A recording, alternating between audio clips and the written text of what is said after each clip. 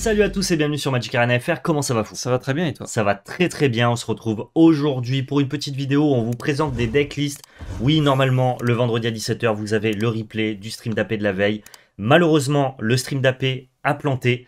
Alors pas notre stream, Magic Arena était inutilisable hier soir, donc plutôt que vous euh, mettre une moitié de stream où on pitre avec le chat mais où on ne joue pas, on a décidé de vous présenter quelques decks euh, euh, qui nous ont paru être intéressants avec des nouvelles cartes de Crimson Vow et dont on va vous parler euh, dans cette vidéo-là. Disclaimer, les craftez pas. Attendez d'avoir un petit peu bah, des retours sur Twitter, des retours de tournois, des retours de différents streamers sur la puissance des cartes. Nous, c'est plutôt un peu comme les tops en fait. Les tops, c'est pas des top craft, c'est des calls. C'est-à-dire qu'est-ce qui nous paraît intéressant, quelles synergies peuvent être mises en place, quelles cartes ont l'air sympas. Et c'est un petit peu ce qu'on va vous présenter avec ces decklists-là. Donc n'hésitez pas à anticiper la confiance, à mettre votre meilleur pouce bleu, à commenter dans les commentaires, dérouler la description et nous rejoindre sur nos différents réseaux sociaux. Exactement, il y a même une toute page Tipeee si vous voulez nous soutenir, euh, vous pouvez y aller, c'est cool. Euh, merci à tous ceux qui y sont d'ailleurs, merci aux tipeurs, euh, dont le nom pour la grande majorité est présent à la fin dans le générique. Générique, Merci aussi à nos sponsors Planning by Magic Bazaar, code VLPL 2021 sur leur boutique. Ça nous soutient quand vous l'utilisez, donc merci. Bientôt à la fin de l'année, attention, après ce sera un nouveau code, celui-ci sera plus utilisable. Du coup, si vous n'avez pas utilisé, c'est peut-être le moment Bien de sûr. faire plaisir. Pour du petit. Euh, et c'est parti euh, pour du Crimson exactement. Ah, c'est vrai qu'en plus, c'est pas sorti. Euh, c'est sorti sur Arena, mais pas en. C'est encore en, précommande actuellement sur Play-in. Yep. Euh, les decklists qu'on va vous présenter, elles sont au nombre de 5. Il y a deux decklists tribal et il y a trois decklists qui nous semblent être intéressantes. On n'a pas mis de side, sauf pour Bantagro, parce que moi, c'est la decklist qui me plaît le plus et celle que je vais directement jouer en classé. Donc, du coup, bah, j'avais déjà préparé un side. Mais pour le reste, c'est plutôt une synergie qu'on va mettre en avant plutôt qu'un build très optimisé. On Yep. commence par Sultai Reanimator, c'est parti. Allons-y. Let's go. Alors, qu'est-ce qui nous donne envie de jouer Reanimator dans ce format? Eh ben, c'est une carte qui arrive avec Crimson Vow, c'est Pailly. Pailly, c'est pour deux mana un rituel. Vous révélez les quatre cartes du dessus de votre bibliothèque, vous mettez tous les cartes de terrain de cette manière dans votre main, elles restent dans votre cimetière. C'est-à-dire que si jamais vous révélez un terrain, bah, vous avez meulé 3. Si jamais vous avez révélé trois terrains, vous allez piocher trois cartes. Donc la carte est vraiment très puissante dans les synergies cimetières. Euh, et en tout cas, dans tous les standards où la carte a, édite- a été éditée, elle a été jouée dans des synergies comme ça. Donc on, on soupçonne Wizard de vouloir mettre en, en avant cet archétype-là. Ouais. Et donc du coup, voilà, euh, comme on a des très très bonnes créatures à réanimer, que ce soit Coma ou alors l'horreur Briscock, euh, eh ben on peut essayer d'avoir une synergie paillis. Pour aider à mettre des cartes dans le cimetière, on a aussi commandement de Flestrefleur, parce que son premier effet, c'est de meuler euh, trois cartes à un joueur ciblé, on va s'auto-meuler, récupérer un terrain et au passage peut-être détruire une créature à l'adversaire, ça ça mange pas de La coquinerie. la coquinnerie parce que la carte marche très très bien. Et à côté de ça, bah, du coup, on veut euh, des cartes qui vont juste retarder le plan de jeu de l'adversaire, que ce soit en prise infernale ou alors divisé par zéro, et un spell de réanimation qui est le meilleur qu'on ait actuellement standard, mais que je trouve assez faible. Ouais. C'est Renaissance du Diregraphe pour 5 mana, vous réanimez une bête et vous avez le flashback pour 7 mana, et la carte peut coûter un de moins si jamais vous avez des créatures qui sont mortes ce tour-ci, mais ça, c'est très anecdotique, ça arrivera une fois au chalet, et tant mieux, pour le coup. Yep. Euh, Il y a deux trois autres cartes qui viennent euh, compléter le build. C'est Ermite Maléfique pour plusieurs raisons. Déjà parce que c'est une carte d'interaction avec votre adversaire qui gagne à être mise au cimetière avec vos effets paillis et commandement de Flestrefleur. Et donc du coup, bah, c'est une carte qui remplit plusieurs rôles à la fois. Elle est très polyvalente dans la liste. Et en plus, elle permet aussi de rendre vos spells bleus incontrables, notamment des divisés par zéro. Pourquoi pas Yep. Sachant que les deux énormes ports le sont déjà. C'est ça. Et euh, scruter du coup, pourquoi c'est un decklist Déjà parce que quand on a Horror Briscock, c'est cool d'avoir des petits spells comme ça Super important. qui font euh, du coup trigger l'Horror Briscock. Et en plus, ça met au cimetière la carte du dessus euh, potentiellement. Donc suivant ce que vous cherchez, si vous trouvez un port au-dessus, bah, au lieu de Scry bottom avec une option, bah, là vous la mettez au cimetière et c'est cool. Ou alors n'importe quel autre spell. Pas mal de cartes peuvent être bien mises au cimetière. Donc scruter très bien à mon avis dans la decklist. C'est ça. Et on l'a divisé par zéro comme interaction. Je sais pas si tu l'avais mentionné. Et une des, une des dernières cartes dont on n'a pas parlé et qui s'intègre très très bien, c'est le taxidermiste recluse, euh, parce que lui va permettre de fixer nos couleurs. Il ajoute un mana de la couleur de notre choix euh, à notre réserve, donc ça permet d'accélérer le deck. Il est rentabilisé si vous avez beaucoup de créatures au cimetière, si vous êtes beaucoup automelé, donc c'est-à-dire qu'en late game pour deux vous avez un 4-4 et ça c'est super bien. Et en plus, ce que j'aime bien moi dans ce deck-là, qui est pas un réanimateur combo, c'est un réanimateur midrange, c'est-à-dire que vos cartes vous pouvez aussi les caster à la main quoi. Il y a un monde, euh, vous allez jouer des games où euh, Mm. euh, bah, tour 2 vous allez faire anti-bet, tour 3 divisé par 0, tour 4 vous allez piocher quelques cartes, faire des paillis, et puis vous allez avancer tranquillement dans la game sans réanimer vos cartes, et puis au bout d'un moment vous allez pouvoir jouer une horreur briscock quoi. Ouais. Et ça va être fort. si vous êtes passé par des taxidermistes, bah, ça peut arriver plus tôt. Donc euh, c'est une liste qui est probablement encore à dégrossir, pas forcément euh, euh, définitive, mais en tout cas la, la stratégie d'essayer de réanimer ces cartes-là avec euh, la mise au cimetière de Païs, Scruté, commandement de Flestrofleur, tu vois, il y a, il y a un ensemble, genre la liste Mhm. elle est cohérente. En fait, on a cherché de la cohérence avec cette liste-là, et elle me paraît être cohérente, Ouais. et en plus, on a une très bonne mana base avec l'arrivée des euh, clairières des euh, oranges brunes. Ça veut que ça oranges, veut dire, ouais. je sais pas ce que c'est. Bah, c'est le fruit, le jus d'orange. Le jus d'orange, d'accord. Et euh, la cascade de euh, Souche Rêve, le, le- Très beau dessin. La souche des rêves, ça je comprends un peu plus déjà. Oui, ça, ça va quoi. Et on sait, on a mis des leçons, parce qu'on peut les chercher à Ouais. diviser par zéro. Euh, on en a mis beaucoup, parce que là, c'est une liste euh, du coup qui n'a pas vraiment de side, à part ces leçons-là. Peut-être qu'on en jouerait moins euh, en définitive si on avait accès à, à Ah, 15 ça. cartes au total. Bien sûr. Mais, euh, mais ouais, c'est assez, assez cool de pouvoir aller chercher des leçons avec divisé par zéro pour justement aller chercher les landes qui nous manquent avec science, sortie des mascottes en late game. Ça apporte vraiment encore un second souffle, un troisième souffle au deck qui est déjà assez ressourceux. Et vraiment, ça, ça a l'air d'être un très bon deck. Ce- côté très mid-range, pas forcément que axé sur la réanimation, mais Ouais. de temps à autre, vous allez faire Ouais, réanimation un tour plan B 4. et un plan C, quoi. Ouais, tu fais réanimation tour 4 dans ton horreur briscoque, tu détapes avec, t'as gagné. Tu fais réanimation tour 5 dans ton horreur briscoque avec un mana d'étape qui est inscruté, t'as gagné. Mais au-delà de ça, t'as un deck Sultai qui est capable juste de se battre et d'aller en late game et de jouer ses cartes à la main. C'est ça que j'aime bien avec ce, Mm. avec ce deck-là. Il y a une carte qui synergise très bien avec le plan de jeu qu'on n'a pas mis dans la liste, c'est Vrennen 6. Vrennen 7, pas Vrennen 6. Parce que 7, Ça quand vous faites son plus cimetière. 1, ça met tout au cimetière, ça récupère des landes. Donc voilà, faudra peut-être la tester. Moi, Pourquoi pas Peut-être deux exemplaires. euh, j'ai trouvé que ça s'implémentait pas bien Ouais. dans la liste. Mais peut-être, euh, euh, genre, bah, en fait, tu dis pour 5, je veux réanimer ou rien, quoi. ouais, donc euh, ça m'avait pas l'air très pertinent, mais en tout cas ça synergise avec le plan. Mm. On va passer à la liste suivante. Yep. Human. Humain. Alors ça, c'est plus une proposition. En fait, euh, ça peut être un upgrade à Mono Blanc actuellement. Enfin, pas vraiment un upgrade, mais une autre Une version autre version. qui répondra du coup à un méta différent. Euh, quel est le but? C'est de jouer que des humains, parce qu'on on a beaucoup d'humains qui sont bons en plus, pour pouvoir jouer euh, Ralliement des rangs. Qui Ouais. du coup, là, on ne peut pas le jouer en mono blanc actuellement. Enfin, euh, avec la version d'avant, c'était un peu Il n'y a compliqué. pas assez d'humains en Il n'y avait pas assez d'humains intéressants. Et là, comme on a que des humains, pour deux mana, on va donner plus un plus un à tous nos humains. Et notre avant son visage est aussi un humain. Donc euh, c'est euh, c'est d'autant plus fort. Pourquoi euh, on essaierait de jouer aux humains Pas seulement pour les rangs, parce qu'on a deux nouveaux humains qui sont très cool. Euh, entre autres, on a quatre nouveaux humains, mais deux qui sont très cool. Talia, Garnet Traben, réédition, très sympa. Jouez ce dessin si vous. Enfin, jouez cette édition si vous l'avez. Ne craftez pas l'autre, l'autre c'est la même. Donc si Voilà. vous avez déjà cette version-là, euh, vous emmerdez pas. Et euh, l'autre humain aussi intéressant, c'est Sauveur d'Olenbok, une mythique. Attention, ça, on sait pas si c'est super fort ou super nul. Donc évitez de les crafter parce que c'est des mythiques quand même. Je je pense que cette carte-là, Sauveur de l'Enbock, nous on a l'impression que c'est pas très fort avec PL parce que ça demande beaucoup de. En fait, son effet plancher est assez faible, par contre son plafond est énorme et on n'aime pas les cartes qui ont un delta aussi imposant. Cela dit, si il se trouve que le plancher du Sauveur de l'Enbock, on l'aurait mal estimé et qu'au final la carte est assez facilement fonctionnelle, elle peut potentiellement être très puissante. Ouais. Donc là, c'est une proposition, on n'a pas testé. C'est le genre de carte qui est très difficile à, estimer. Il faut les jouer pour s'en rendre compte. Et c'est vrai que si on arrive à mettre des marqueurs, à trigger plusieurs fois ses capacités, à exiler nos propres bêtes, euh, peut-être pour euh, anticiper des anti-bêtes de masse de l'adversaire et tout, si on est capable d'essayer de, maximiser tous les effets de ce sauveur de l'Enbok tout en exilant les cartes de l'adversaire, eh ben, elle est peut-être beaucoup plus puissante que ce à quoi on s'attendait. Et donc, du coup, bah, comme c'est un humain supplémentaire et que l'entièreté du deck joue humain, comme tu le disais, on a accès à ralliement des rangs. C'est une proposition, on est sur un deck euh, de euh, début de format. Il y a de grandes chances que la version mono blanche définitive reste plutôt proche de ce que vous jouiez avant avec seulement Talia, pour le coup. Ouais. Et donc, du coup, ne pas avoir la synergie humain. Là, on veut vraiment profiter de ralliement des rangs, ce qui la différencie un petit peu des listes mono blanc euh, actuelles. Yep. Il y a un- une autre petite upgrade, enfin une petite carte que je trouve cool moi, c'est l'escorte de Lenbok que vraiment euh, personne n'a vu, tout le monde passe au travers et toutes les listes mono blanc Mm. que je vois ne jouent pas cette carte là. En fait, c'est un 1 pour 1 qui est humain et vigilance, donc il rentre dans votre plan de jeu. Et en fait, si vous le sacrifiez, vous pouvez protéger une créature euh, qui a un marqueur plus 1 plus 1 en lui donnant le lien de vie, l'indestructible. Et en fait, comme tu as des sauveurs d'Olenbok, euh, comme tu as des aspirantes, euh, comme tu joues des adversaires intrépides, mais tu vas avoir très facilement des marqueurs plus 1 plus 1. Adversaire marche pas. C'est pas des marqueurs plus importants, c'est des Ah, marqueurs courage. Bon, mais en tout cas, euh, voilà, avec. euh, Ça marche avec aspirante, avec adepte optimiste euh, et avec sauveur d'Olenbok. Voilà, tu vas assez facilement avoir des marqueurs plus 1 plus 1 pour protéger tes bêtes et ça me paraît juste être meilleur en fait, tout simplement. De ouf, ouais. Ça, c'est plus une, une propale. Par contre, ça, tu Oh. as hâte. On va d'abord passer à Absent Ah. Token, je garde Tu Bantagro veux pour la fin. Bantagro Ah, Ouais, Tu gardes le meilleur pour la fin Ouais, Ça marche.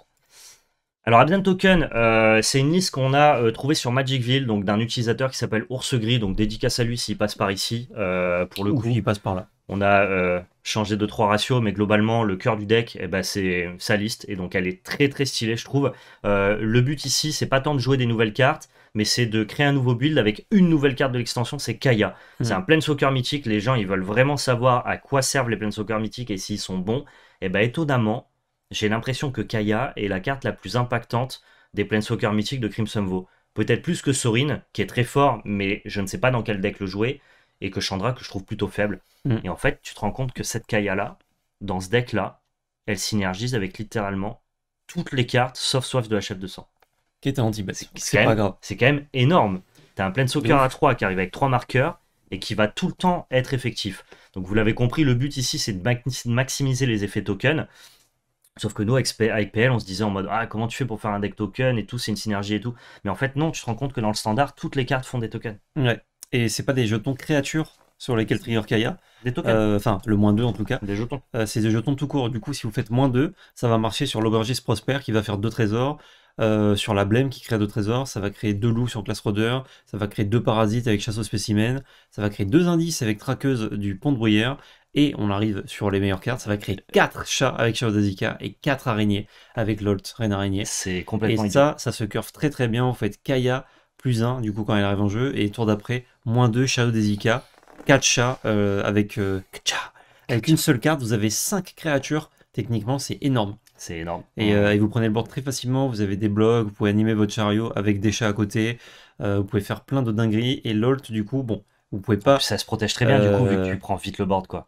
Exactement, vous pouvez pas forcément euh, faire euh, Kaya euh, dans Chariot, dans Lolt tout le temps, c'est trois cartes, faut les curver, mais si, si vous le faites, Kaya, elle fait plus 1 quand elle arrive en jeu, donc elle est à 4 marqueurs, ça veut dire que le tour 4, elle peut passer à 2, et au tour 5, elle peut passer à 0, faire son moins 2 et mourir, mais c'est pas grave, et copier du coup les tokens que Lolt va faire, Ouais. ainsi que le token que va créer le Chariot d'Azika, qui va être doublé aussi après. Donc euh, ne serait-ce que ça, ces trois cartes-là qui vont très bien ensemble, euh, enfin les deux cartes qui vont bien à Kaya en tout cas, euh, ça peut faire des sorties euh, de dingues. Et en plus, on peut s'accélérer potentiellement avec notre sortie euh, pour faire peut-être un tour plus tôt certaines dingueries. En fait, ce deck-là, je le trouve incroyable parce qu'il est bien pensé. Encore une fois, c'est comme Reanimator. C'est pas en mode Oh, on va jouer full token, on va jouer full Reanimator. Non, on vous propose un, un vrai deck de standard avec des vraies cartes qui sont indépendamment les unes des autres très puissantes et qui, en plus, quand elles s'alignent bien, te proposent une synergie, un espèce de, de, de climax, quoi. Et, et pour le coup, je trouve la liste, quand je l'ai vue, je me dis Waouh, putain, j'aurais. Si je voulais jouer Kaya, j'aurais pas trouvé mieux. euh, qu'un truc comme ça. Tu m'avais dit, toi, justement, que cette curve-là, elle te parlait particulièrement Mm. avec euh, Vrenobu et tout. Et en fait, c'est vrai que quand on la voit, elle, est, elle marche très très bien. Ouais. Et j'ai trouvé ça très intelligent de la part du coup de Ours Gris d'avoir chasse au spécimen et classe rôdeur. Ça, c'est un truc que j'avais pas forcément imaginé. Parce qu'en fait, quand tu joues ton Kaya tour 3, évidemment que tu as envie d'attendre le tour 4 pour faire ton moins 2. Mais c'est aussi utile que ton plus 1 il soit rentabilisé. Mm. Et si avec classe rôdeur, tu as fait un token ou avec chasse spécimen, tu as fait aussi un token, mais en fait, le plus 1 de ta Kaya, il a fait aussi en mode euh, bah, je mets un marqueur plus 1 plus 1 sur un de mes Mm. tokens. Il n'a pas juste rien fait. Quoi. Il n'a pas juste rien fait. Donc en fait, l'entièreté du deck euh, se mixe très très bien. Encore une fois, c'est très cohérent et c'est ce qu'on cherche à vous présenter euh, euh, pour ces premiers jets. Quoi. De ouf. Et d'ailleurs, peut-être que la version finale euh, marcherait avec un mix de Lolt et de Vren, ou que des Vren, ou que des Lolt, si jamais le deck est viable, parce que Vren, ça marche aussi avec Chariot. Du coup, si vous n'avez pas la curve avec Kaya tour 3, vous pouvez quand même faire Chariot Vren, euh, qu'on connaissait déjà et qui est assez puissant. quoi. Après, tu peux aussi chariot Lolt, hein, ça marche très très bien. hein. Ça marche aussi, ouais, je- tu je- ne crées pas un deuxième 5-5, tu crées une autre 2-1, tu Non. vois. Donc, euh, J'apprécie quand même pas mal Lolt sur le fait que vraiment tu fasses une armée de tokens plutôt que des tokens assez, Ouais. assez hauts quand on sait que le format répond standard. ouais. très très bien aux tokens. Il y a plein d'anti-bêtes ciblés ou alors d'exil. Là, quand tu as un board qui est très très large, c'est très très compliqué pour ton Ouais. adversaire de faire quelque chose. Et ça fait de la value euh, plus euh, simplement que Ouais. Vren. Euh, du coup, en piochant directement des cartes et pas en ça. piochant que les terrains. T'as quand même, en plus, t'as plein d'outils de late game. Je pense que c'est proche d'être un vrai deck de standard, quoi. Quand ta traqueuse a fait deux indices, tu vas piocher des cartes. T'as ta chasse au spécimen qui te donne accès à des leçons dans le side. Donc, notamment, bah, les sorties des mascottes qui permettent d'aller en late game. Euh, du coup, t'as Kaya moins 2, sortie des mascottes, vous faites euh, deux fois la sortie des mascottes. par exemple. T'as Class Roder qui, au niveau 3, va te permettre de grinder un petit peu. Donc, euh, genre, je trouve qu'on est, c'est vachement abouti pour un premier jet. Comme de ouf. Ouais, ça donne une sensation de, de deck euh, fini quasiment. ouais. avec une curve et tout, ça, ça ressemble vraiment à un vrai deck de standard qu'on aurait pu trouver dans deux semaines quoi. Ouais. Donc euh, très, très impressionné par ce deck là. Et ça, c'est peut-être partie des decks qui seront jamais jouables euh, parce que euh, la vie est dure, mais pas loin, tu vois. En tout cas, vous l'aurez vu ici si ça devient jouable. Mm. Mais dédicace au secret du coup. Qu'on ne connaît pas, hein, il est peut-être même pas viewer. Alors, zombie, Zombie déjà, déjà. parce que les gens nous l'ont beaucoup demandé pour le coup. Ce deck, ce deck zombie. Qui a été pimpé juste avant cette vidéo. Ouais, ouais, ouais. C'est notre version de notre proposition, ça pour le coup. Euh, nous, on estime avec PL que si on doit jouer zombie, c'est pour l'amalgame surchargé. Il y a Mm. plein de listes mono noir qui traînent et tout. Euh, si c'est pour jouer zombie mono noir, jouer mono noir neigeux. Enfin, j'ai. En fait, j'ai pas envie de jouer zombie comme un deck un peu midrange ou comme un deck un peu euh, boui-boui ou quoi. Si j'ai envie de jouer zombie, c'est pour le jouer un peu à gros tempo. C'est pour profiter du scab et c'est pour profiter de l'amalgame surchargé. Et donc, Oui. dans cette optique-là, c'est la liste qu'on vous présente. Et donc, ça ressemble un petit peu à ce que vous pouviez connaître de zombie mono noir avant. hein. Je voulais le fameux champion des trépassés, l'adversaire souillé, euh, le scab qui est du coup un lord, mais on a beaucoup de cartes de Crimson Vow, À Quatre nouvelles cartes. hein. c'est ça. On a le cavalier sans tête qui lui va recycler tous nos zombies, notamment sur les anti-bêtes de notre adversaire ou Ou les anti-bêtes de, de masse, ou alors sur l'exploitation. On a le piqueur sinistre qui lui va nous permettre d'exploiter des cartes pour pouvoir en piocher d'autres. Et en plus, il a des bonnes stats, il est 3-2 contact mortel, donc ça marche très très Et bien les zombies. il est zombie et ça marche très très bien. Du coup, avec la blême titubante qui, elle, en mourant, va nous accélérer, peut-être pour, pouvoir payer plus facilement un amalgame surchargé ou alors Mm. tuer une bête adverse. Euh, Il y a Jadar qui participe bien à cette synergie où on a envie d'exploiter des cartes et on a surtout cet écumeur de graphe que moi j'apprécie surtout pour ses stats d'être un 3-3 pour 2 Ouais. qui, buffé par un scab et 4-4, va rentrer vite des dégâts. 4-3. Euh, C'est plus un plus zéro. oui, plus 1 plus 0. Ouais, tu as compris quoi. Il C'est va- c'est toujours fort. il va rentrer 4 dégâts. Son côté exploitation, c'est très euh, mineur. quoi. Alors oui, ça va aller tuer une Lolt ou une, une Vraine de temps à autre, et ça sera intéressant pour ça, Mhm. sachant qu'il peut s'exploiter lui-même pour aller tuer la carte. Donc pour 2 mana, tuer une Lolt, c'est très très bien. Et encore une fois, je vois des listes de zombies qui jouent pas cet écumeur, ou alors quand joue que 2 ou quoi, je pense que c'est une des meilleures cartes. Ouais. Je pense que euh, ce que veut faire ce deck-là, c'est c'est de proposer rapidement de l'agression avec champion et avec écumeur, et derrière faire anti-bet et je contre tes menaces. C'est tout ce qu'il veut faire ce deck-là. Ouais, parce qu'en plus, votre amalgame, si vous avez un lord sur le board, c'est une 4-3 flash fly, euh, ça va aussi vite tuer ou finir l'adversaire, si vous avez mis la pression. Et la curve qu'on disait, euh, notamment pendant les spoilers, c'est champion trépassé tour 1, euh, écumeur de graphe tour 2, donc du coup, vous mettez 2 points avec votre champion. Tour 3, vous faites cavalier sans tête, vous mettez 6 points, 3 avec votre champion, 3 avec votre écumeur. Et là, si vous prenez Vras, Antibet ou quoi, vous repartez avec des tokens de 2. Donc si jamais l'adversaire il tue vos 3 bêtes, vous avez 3 tokens de 2 pour continuer la question, donc vous mettez encore 6 points. Il a pris 12, ça vous a coûté que 3 cartes entre guillemets, vous pouvez euh, derrière avoir un amalgame, sacrifier un des tokens, piqueur sinistre, sacrifier un token, je draw 2. Vous avez pas mal de, ressources et tout. Petit éveil d'A- d'Agadim qui peut plus tard euh, réanimer euh, des bêtes et du coup refaire les effets d'exploitation parce que c'est en arrivée en jeu. Donc ça peut être sympathique, enfin surtout euh, l'effet de piqueur, hein. l'effet d'amalgame non. Je, je sens que ces deux cartes-là sont vraiment les cartes très importantes du deck. Celle-là, justement, pour continuer à pouvoir euh, mettre de, de l'agressivité et l'écumeur pour commencer à rentrer beaucoup de dégâts. Mm. Et on sait pas si zombie c'est assez puissant. Ça m'a l'air quand même un peu gentil par rapport euh, typiquement à la liste Abzan Token qu'on vous a présenté avant. Mais si on doit jouer zombie, à mon avis, ça ressemblera beaucoup plus à ça Mm. qu'à ce que vous pouvez trouver sur Internet. Exact. Et si ça, c'est pas jouable dans, en l'état, c'est que zombie, c'est pas très bien. Ouais, peut-être que des fois, euh, malheureusement, euh, ça arrive souvent en standard, les, les decks tribaux, euh, il manque des trucs, quoi. Ouais. Il manque de lord, il manque de pêche. Mais là, en tout cas, ils sont bien boostés avec les deux dernières extensions, donc peut-être que c'est ce qu'il fallait. Il fallait la deuxième extension. À voir. On verra bien. Et enfin, le dernier deck euh, que j'ai envie de, vous présenter, euh, c'est une decklist que moi j'avais joué avant Crimson Vow et qui a eu pas mal d'upgrades. C'est euh, la fameuse decklist avec laquelle j'étais passé en mythique, mon espèce de bande tempo que j'aimais beaucoup. Le problème c'est que la mana base n'était pas très très sweet et en fait il se trouve qu'en fouillant un petit peu Star City Game, il y a Todd Anderson qui a proposé une liste très similaire à ce que j'avais proposé à l'époque, avec du coup les ajouts de Crimson Vow. Et donc du coup, bah forcément, on s'en est direct emparé parce que, bah, bah, parce que la liste, elle fait plaisir. Le but, c'est d'essayer de jouer un bant aggro. Et là, c'est vraiment euh, déjà euh, très métagamé. Tu sens que la liste, elle est là pour se battre contre les Z-Dragons.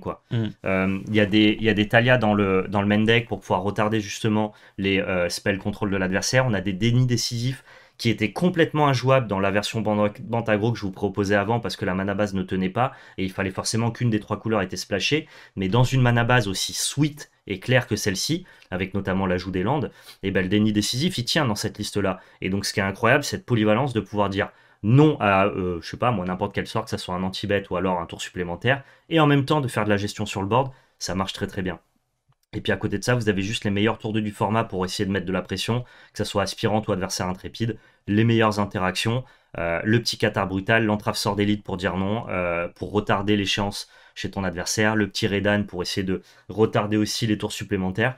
Et donc voilà, c'est exactement la même ambition que le deck d'avant, sauf que là, ben, la mana base nous donne les moyens de nos ambitions pour le coup.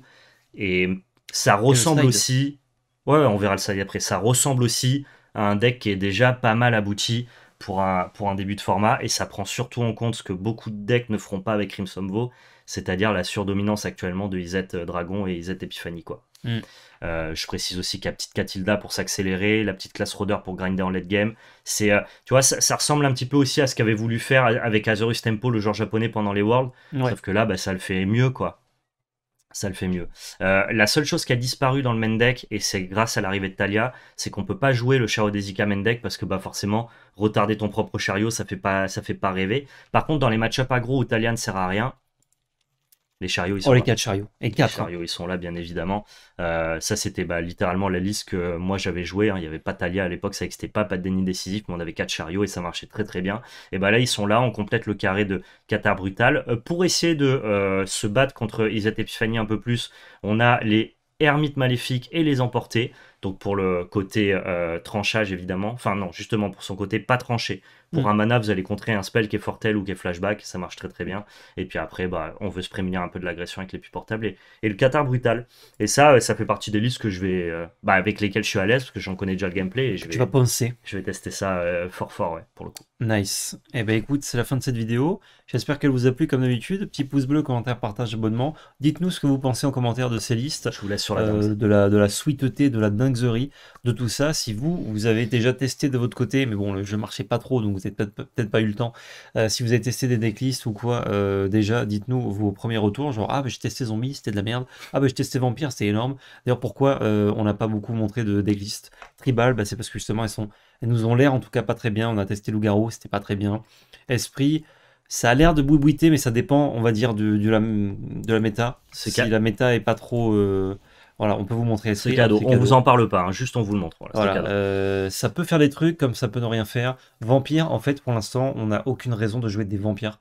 Euh, ensemble. On peut jouer un deck où il y a des vampires dedans qui sont de bonnes cartes, vrai. mais il n'y a pas vraiment de synergie vampire et il y en a quelques-unes, mais en fait ces synergies vampires donnent pas envie de jouer ce deck-là. Du coup, euh, on attend de voir, c'est pour ça qu'on vous présente pas de deck vampire là. Ben, en fait, on a l'impression que ça sert à rien de jouer vampire.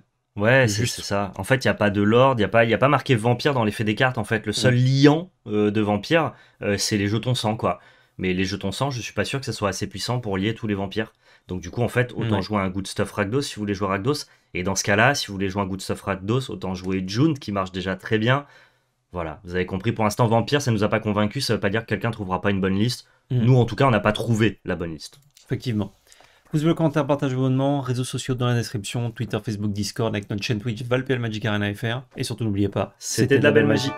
Merci beaucoup aux tipeurs qui soutiennent la chaîne. Si vous aussi vous souhaitez nous aider, le lien de notre page est dans la description.